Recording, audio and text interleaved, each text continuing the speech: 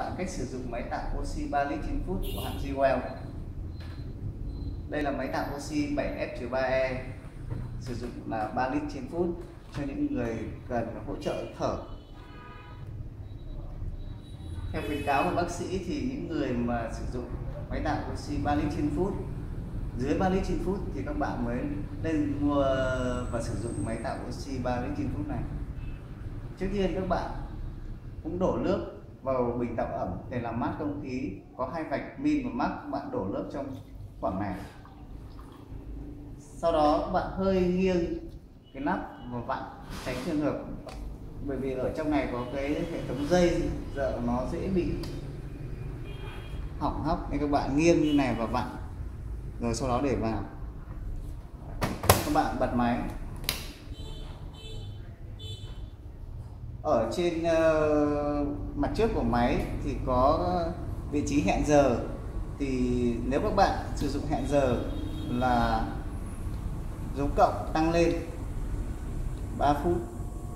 Thì cái vị trí hẹn giờ này là tối đa là 99 phút. Sau khi quá trình máy máy tắt hết hết giờ máy tắt thì các bạn bật khởi động lại nút nguồn.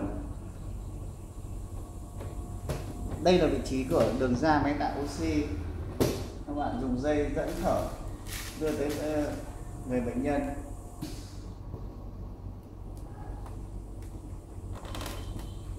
Các bạn lưu ý là cái mức điều chỉnh của cái 3 lít trên phút thì khi sử dụng là cũng chỉ không quá vạch đỏ là và theo điều trị của bác sĩ hướng dẫn là 1 lít, 2 lít hay 3 lít trên phút.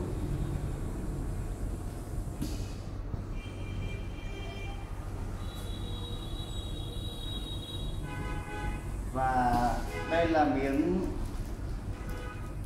sơ cua để là vệ sinh. Thì các bạn cạnh ở phần uh, phía trên của máy có vị trí cạnh của lắp cạnh.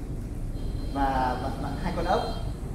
Thì ở bên trong thì có cái hình nó giống như cái cốc mà bạn vặn ra và thay cái này. Thì cái cái này cần ờ, để ý nó trong 1 đến 3 tháng. Thì cần lưu ý vệ sinh và mang đi giặt và cho cái muối này vào.